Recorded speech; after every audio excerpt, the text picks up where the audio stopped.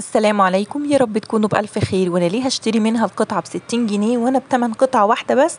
أقدر أعمل صينية تكفي العيلة والأولاد ونعمل عليها كمان سهرة حلوة كده ولذيذة.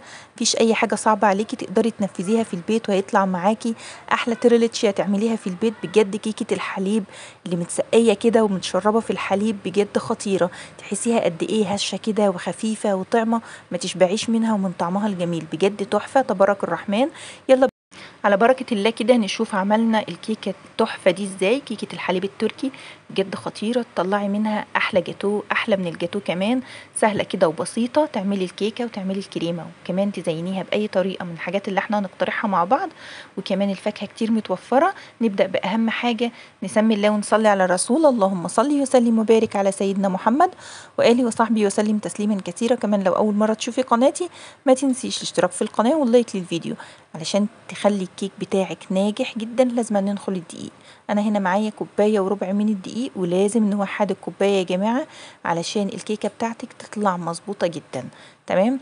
بعد كده حطيت عليها باكت كامل من ال baking powder وكمان حطيت عليها ذرة بسيطة جدا من الملح وكده نخلنا المكونات الجافة مع بعضها. والنهارده هقدم لكم أسهل كيكة ممكن تعمليها ولا خلاط ولا مضرب كهربائي ولا أي حاجة. بعد ما نخلنا المكونات الجافة هحط هنا معايا كوباية إلا ربع من السكر وكمان هحط معايا كوباية إلا ربع من الزيت. وطبعا السكر في الكيك ده اختياري تخليه كتير أو قليل براحتك ولكن ده المقدار المظبوط. بعد كده ما ضفت كوباية إلا ربع من السكر وكوباية إلا ربع من الزيت معايا هنا 3 بيضات. ثلاث بيضات لو حجم البيضة كبير وأربع بيضات لو حجم البيضة صغير. تمام كده؟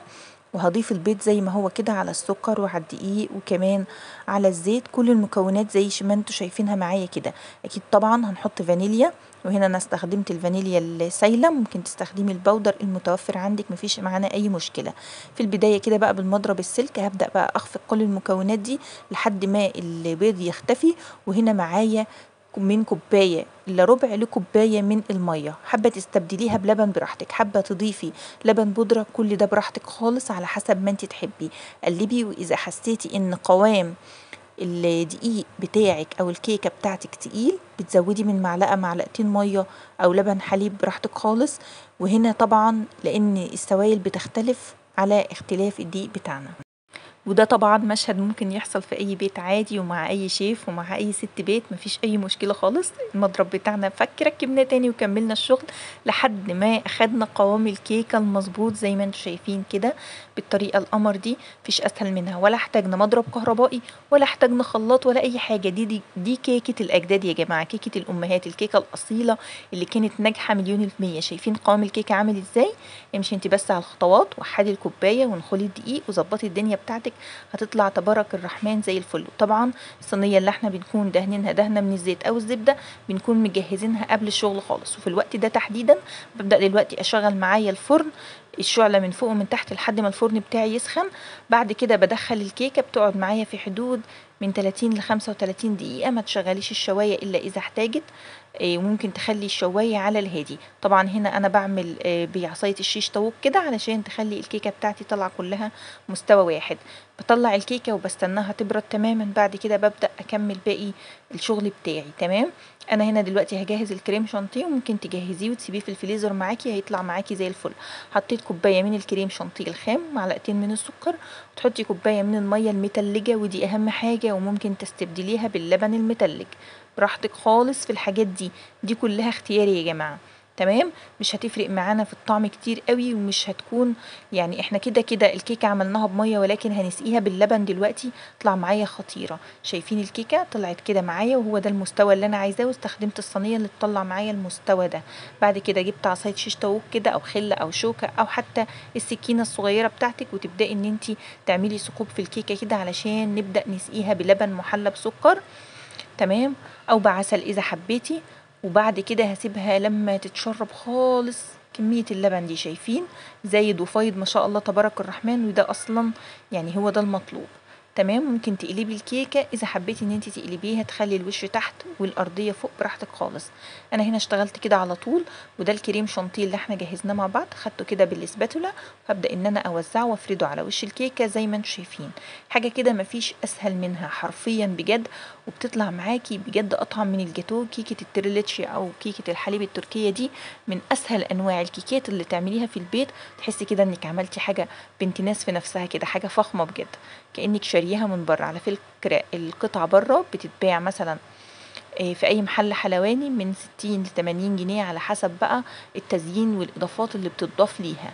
تمام؟ ممكن تكون متضافة على طبق رز بلبن وتحط عليها كيكة التريليتشيا دي وبتكون متزينة بالفواكه متزينة يعني حاجات كتير جدا تقدري إن انت تزينيها بيها. انها النهارده بما إن المانجا متوفرة في السوق وريحتها بصوا بتشد اللي ماشي في الشارع كده بتجذبه كأنها مغناطيس فجبنا مانجا هبدا إن أنا أقطعها بالطريقة السهلة دي وأزين الكيكة بتاعتي النهارده بالمانجا.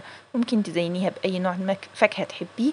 ممكن جدا جدا تعملي صوص كراميل وعملناه مع بعض كتير في القناة. تعملي صوص كراميل وتحطيها على وش كيكة التريليتشي وهو ده أصل الكيكة. وبعد كده بتزينيها بتطلع معاكي تحفة حرفيا. أنا عملت المانجا بالطريقة اللي أنت شفتوها دي وطبعا إيه كأي بياعين يعني بتشتري منهم مانجا أنت بتشوفي قدامك حاجة ولما تيجي تشتري الحاجة وتروحي البيت بتلاقي حاجة تانية خالص. يعني أنا شايفة المانجا جميلة كده وتحسي إن هي مانجا للأكل متماسكة وكمان شكلها حلو وصفرة وجميلة. تيجي تروحي البيت تلاقي نص المانجا بتاعك مستوي قليل قوي لو لقيتي المانجا ماسكة نفسها وتحسي كده إن هي يدوب يعني عايزة تتاكل. لأ بتبقى كلها محتاجة العصير بعد كده. فأنا هنا آه قطعت المانجا بالطريقة اللي شفتوها وده معايا هنا ده شربات. على فكرة يعني ممكن تستغني عن الخطوة دي خالص ولا نحتاج جيلي تلميع ولا نحتاج شربات على وش المانجا. المانجا مسكرة والكيكة بتاعتي وكمان الكريمة مسكرة. فأنت هنا طبعا هتتاكل في نفس اليوم فمش هتخافي خالص إن لون المانجا يغير معاكي. لكن دي لو هتهدي بيها حد أو هتقعديها عندك يوم أو اتنين في التلاجة فأنت لازم تجيبي جيلي تلميع وتبدأي إن أنت تحطي على وش الكيكة بتاعتك. تطلع معاكي مظبوطة جدا وكمان لون الفاكهة اللي انت هتحطيها مش هتغير ولا أي حاجة خالص.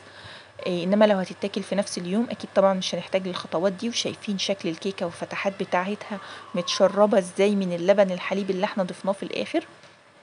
كيكة غنية مشبعة لذيذة وخفيفة في نفس الوقت كده. وهو الصيف محتاج إيه غير كده؟ كيكة باردة وساقعة وشوية فاكهة على وشها بتكون لذيذة جدا. إيه تحسي بقى إن انت عملتي كده حاجة إنجاز بجد.